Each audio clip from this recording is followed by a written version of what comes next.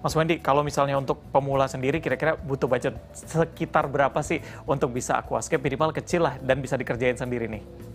Nah, kalau untuk uh, akuarium 30 cm ya sebenarnya hmm. kalau untuk pemain baru saya nggak nyebut pemula mas jadi saya nyebutnya biasa pemain, pemain baru, baru ya.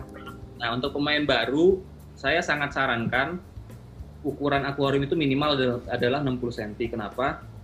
Karena semakin kecil akuarium artinya volume air semakin sedikit volume air semakin sedikit artinya si air itu semakin sulit untuk stabil. Jadi parameter airnya gampang berubah gitu ya.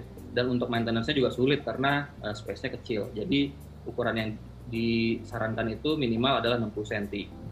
Nah, dengan 60 tapi di atas 60 cm itu perawatan sebenarnya akan lebih mudah. Air akan lebih mudah stabil tapi biayanya akan lebih tinggi pastinya. Hmm. Jadi yang ideal 60 cm dan untuk biayanya kurang lebih kalau misalkan kita mau desain sendiri ya, bukan uh, beli yang udah jadi 60 cm itu mungkin kisaran budget 2 juta tapi belum include tabung CO2 ya mungkin kita hmm. kisaran 2 sampai 2,5 juta itu udah cukup Oke, baik tuh. Sekitar segitu udah dapat ya, apalagi nanti belinya di Aqua Jaya bisa dibantu ya, Mas ya.